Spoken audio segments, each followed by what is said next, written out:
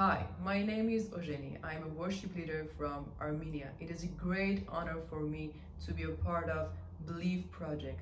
Please visit the link below for more information and support the project. God bless you.